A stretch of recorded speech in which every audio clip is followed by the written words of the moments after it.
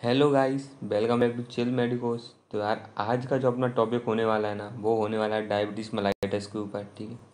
कि diabetes mellitus क्या होता है और उसकी क्लासिफिकेशन पढ़ेंगे यार अपन, ठीक है? कॉज भी पढ़ेंगे उसके, ठीक है? और लास्ट में अपन पढ़ने वाले इसका ट्रीटमेंट या मैनेजमेंट और अगर इससे पहले अगर आप मेरे चैनल पर नए हो ना यार तो आप मेरे चैनल को सब्सक्राइब कर लेना, क्योंकि मैं आपको सारी बायो केमिस्ट्री बेसिक्स भी पढ़ाने वाला हूँ। ठीक है? और जो नोट्स वगैरह वो अपने टेलीग्राम चैनल पर आपको प्रोवाइड करवा रहा हूँ मैं तो आप जाके नोट्स वहाँ से ले सकते हो।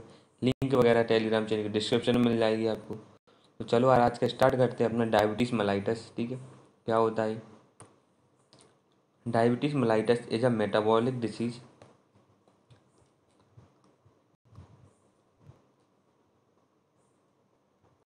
mellitus is a metabolic disease ठीक है? More appropriately a disorder of a fuel metabolism fuel metabolism मतलब कि कहाँ पे कार्बोहाइड्रेट्स के मेटाबॉलिज्म का डिसऑर्डर होता है, ठीक है?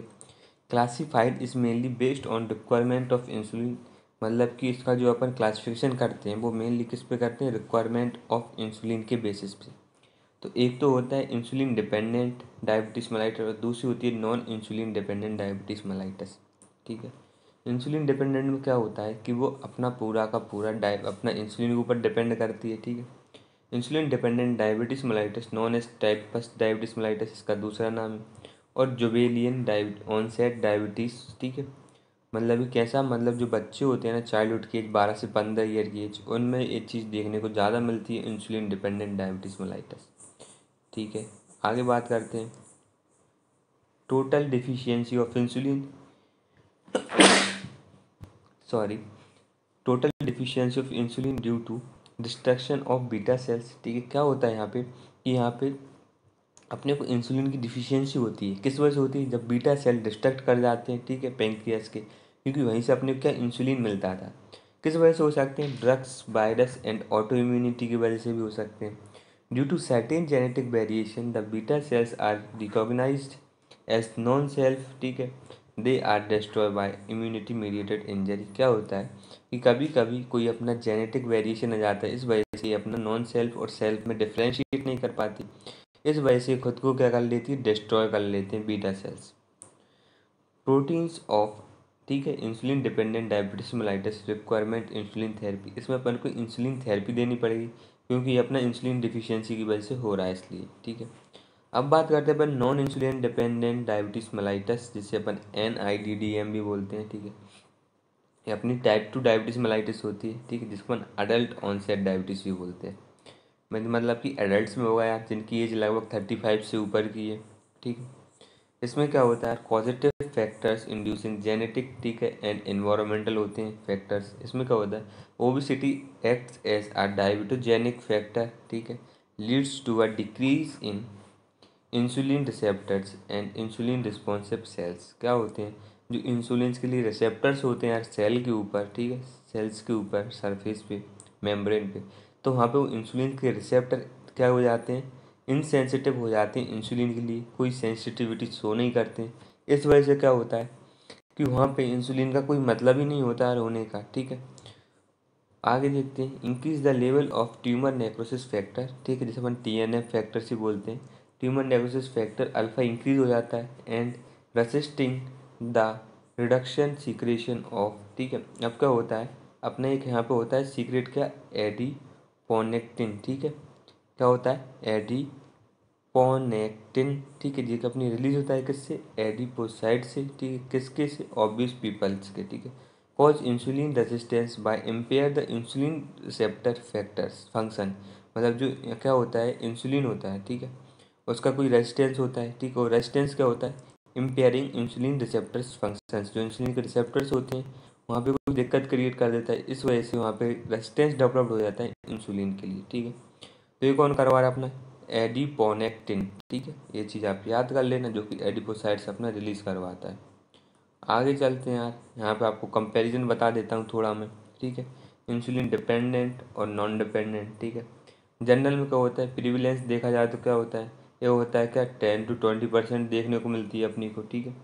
लेकिन एट्टी टू नाइन्टी परसेंट अपने को नॉन इंसुलिन डिपेंडेंट देखने को मिलती है। एज की बात करते हैं यार तो एज ऑफ़ ऑनसेट जो इंसुलिन डिपेंडेंट होती है, बच्चों में होती है मोस्टली और जो नॉन इंसुलिन होती है यार, वो अपनी होती है थर्टी फाइव के अब ठीक है? और क्या होता है? बॉडी वेट क्या होता है? इंसुलिन डिपेंडेंट में नॉर्मल और लो होता है, लेकिन नॉन इंसुलिन में होता है अपना क्या? ऑबियस ठीक है? ये जनरल हो गया। बायोकेमिकल देखते हैं डिफेक्ट को क्या दिखता है अपने को। डिफेक्ट क्या होता है? इंसुलिन की डिफिशियंसी होती है क्योंकि डिस्ट्रक्शन ऑफ़ बीटा सेल हो जाती है इंसुलिन डिपेंडेंट में। नॉन इंसुलिन डिपेंडेंट में क्या होने वाला है? Impairment of impairment in the production of insulin by beta cells and और resistance to the target cell तो टारगेट सेल था अपने पास, जिसको इंसुलिन टारगेट करने वाला था, उसमें रेजिस्टेंस डेवलप्ड हो जाए इंसुलिन के लिए, ठीक है? प्लाज्मा इंसुलिन क्या होता है? डिक्रीज और अपसेंट रहता है इंसुलिन डिपेंडेंट में, ठीक है? और लेकिन नॉन इंसुलिन डिपेंडेंट क्या नॉर्मल और इंक्रीज भी हो सकता है, ठीक है? क्योंकि वहाँ पे इंसुलिन का यूज़ ही नहीं हो पा रहा है। तो ये सारे के सारे क्लिनिकल हैं यार, ये सारे के सारे आपको पढ़ लेना है इसमें से, ठीक है? एग्ज़ाम टाइम के लिए दे रखा है ये चार्ट मैंने आपको एग्ज़ाम टाइम पे आपको काफ़ी हेल्प करेगा। और देखते हैं अपन यहाँ पे, क्या होता है कभी कभी डायबिटीज़ मलाइटस की वजह से अपने को ग्लूकोज यूरिया देखने को मिलता है, ठीक है? ग्लूकोज यूरिया से क्या होता है इसका मतलब कि जब कभी डायबिटीज़ मलाइटस होती है तो उस वजह से ग्लूकोज एक्सक्रीट करने लगता है अपना कहाँ यूरिन में, ठीक है? तो इसी कंडीशन को बोलते हैं अपन ग्लूकोज यूरिया। ये दो टाइप का होता है, एक तो होता है रीनल ग्लूकोज यूरिया मतलब कि किडनी की वजह से होता है। क्या होता है? किडनी कहता है, किडनी का अपना क्या रहता है? एक थ्रेस ठीक है? इसको अपन क्या बोलते हैं? रीनल थ्रेस रीनल थ्रेस ठीक है? एक ग्लूकोज के लिए कितना होता है? One sixty two one eighty ठीक है? अगर मान चलिए रीनल थ्रेस डिक्रीज हो जाएगा तो क्या होगा? अपनी बॉडी में नॉर्मल मान चल जो लेवल था, वो लेवल था ना, ठीक है ग्लूकोज का, वो अपना रीनल थ्रेसोल्ड क्या मेंटेन कर रहा था। अगर वहाँ पे अगर अपना रीनल थ्रेसोल्ड डिक्रीज कर जाता है तो क्या होगा? तो अपना जो एब्जॉर्प्शन रीअब्जॉर्प्शन हो रहा था किडनी से, वो कम हो जाएगा। तो क्या होगा? ज़्यादा से ज़्यादा ग्लूकोज एक्सक्रीट करने लगेगा यूरिन में तो वो अपने को यूरिन में दिखने लगेगा, ठीक है। ग्लूकोज तो उसी कंडीशन को बोलते हैं अपन क्या रीनल ग्लूकोज यूरिया ठीक है? मतलब रीनल की वजह से हो रहा है आगे, ठीक है? इसका क्या होता है? अनरिलेटेड टू डायबिटीज़ मतलब डायबिटीज़ से इसका कोई मतलब नहीं रहता, ठीक है? एलिमेंट्री ग्लाइकोसूरिया क्या होता है? Blood glucose level rise rapidly after meal resulting in its splitting over in to in urine क्या होता है? जैसे ही आप खाना खाते हो ना, उस टाइम पे क्या होता है? आपका ब्लड ग्लूकोज लेवल बढ़ जाता है, ठीक है? और वो इसकी वजह से वो क्या? वो निकलने लगता है अपना यूरिन में। देखते हैं observe in patient of hepatic disease जिसको कोई हेपेटिक डिसीज हो रखी हो, ठीक है, या फिर हाइपर थायरॉयडिज्म हो रहा था या फिर पेप्टिक अल्सर हो इन सारी सारी कंडीशन में आपको एलिमेंट्री ग्लूकोसेरिया देखने को मिलेगा। Metabolic change in diabetes diabetes में क्या मेटाबॉलिक चेंज आते हैं? पहला चेंज आता है जो मेन रहता है, वो होता है अपना हाइपर ग्लाइसीमिया ठीक है मतलब कि ग्लूकोज का बढ़ना। Elevation of blood glucose concentration is the hallmark of uncontrol diabetes ठीक है? अनकंट्रोल डायबिटीज़ का होल मार्क होता है hyperglycaemia second it is by the reduce glucose uptake by the tissue tissue से जो अपना अपटेक हो रहा था, ठीक है ग्लूकोज का, उसको रिड्यूस कर दिया अपन ने। इस वजह से भी अपने को ये देखने को मिलता है, ठीक है?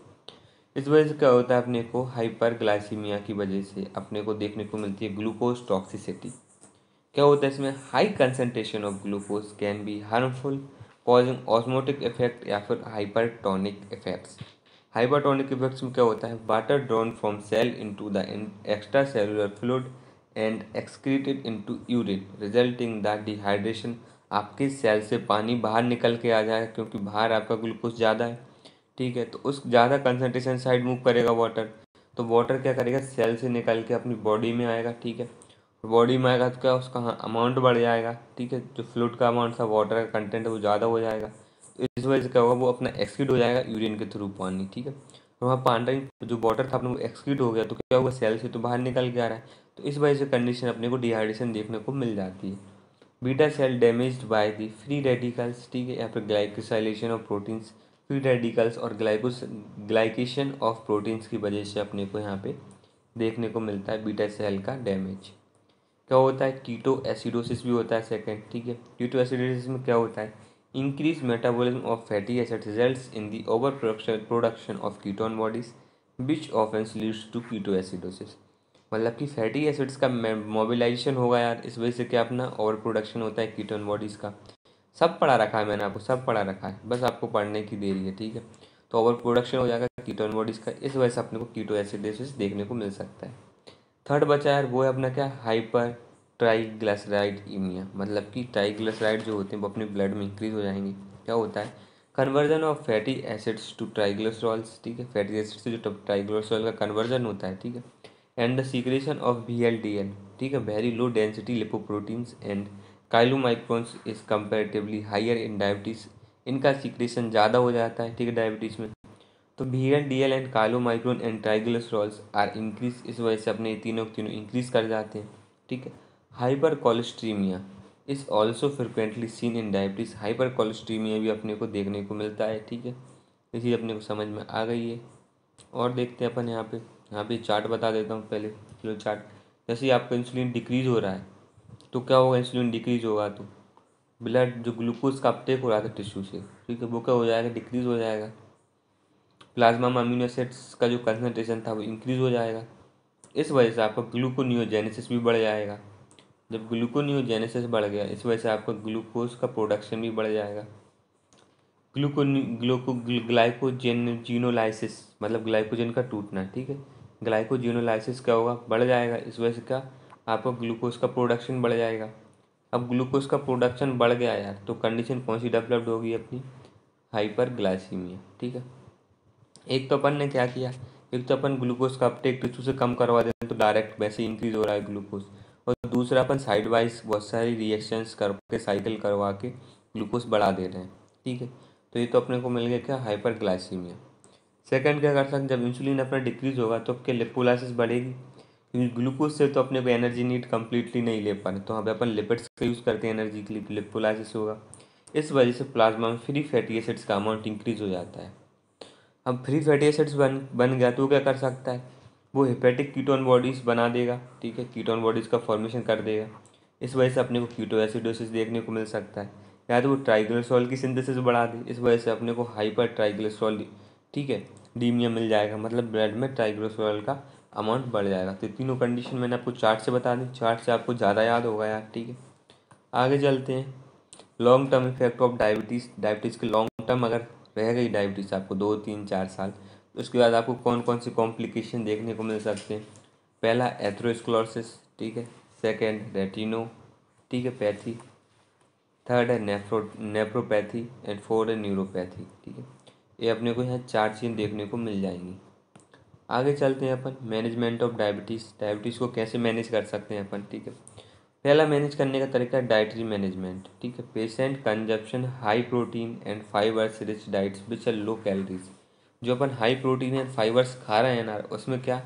उस डाइट में अपना लो कैलोरीज होना चाहिए मतलब low fat and low carbohydrate होना चाहिए। Diet control and exercise help to large extent ठीक है? ये हो गया। और देखते हैं हाइपोग्लाइसेमिक ड्रग ठीक है? हाइपोग्लाइसेमिक मतलब कि ब्लड में जो ग्लूकोज का लेवल कम करने वाले ड्रग्स, ठीक है? तो क्या होता है, oral hypoglycaemic drugs are broadly classify करें, वो टू टाइप्स में करें। जो पहला होता है, वो होता है अपना कौन सा? सल्फोनिल यूरियस ठीक है? इसमें क्या आता है अपना? इसमें आता है अपना एसिटा हेक्सामाइड ठीक है? इसके बाद देखते हैं सेकंड होता है, वो अपना होता है बिग यूनाइट्स ठीक है? इसके बाद देखते हैं मैनेजमेंट विद इंसुलिन इंसुलिन के साथ कैसे मैनेजमेंट कर सकते हैं अपन? दो तरीके से कर सकते हैं। एक तो शॉर्ट एक्टिंग इंसुलिन की वजह से, और दूसरा लॉन्ग एक्टिंग ठीक है? टाइम ड्यूरेशन के बेसिस पर कर सकते हैं। तो शॉर्ट एक्टिंग होता है, वो रहता है अपना अनमोडिफाइड ठीक है? ये अपने सिर्फ़ कितना सिक्स आर तक काम कर सकता है, ठीक है? Last for six hour six hour और जो लॉन्ग एक्टिंग होते हैं, वो मॉडिफाइड होते हैं, वो भी बहुत सारे घंटों तक काम कर सकते हैं। तो यही का यही था पूरा डायबिटीज़ में, ठीक है? मैंने आपको पूरा रिवाइज करवा दिया है, पूरा पढ़ा दिया है। आप पढ़ लेना एक बार जाके नोट से भी देख लेना तो और ज़्यादा क्लियर हो जाएगा। बाकी अच्छे से पढ़ाई करो मेहनत करो thank you for watching and keep learning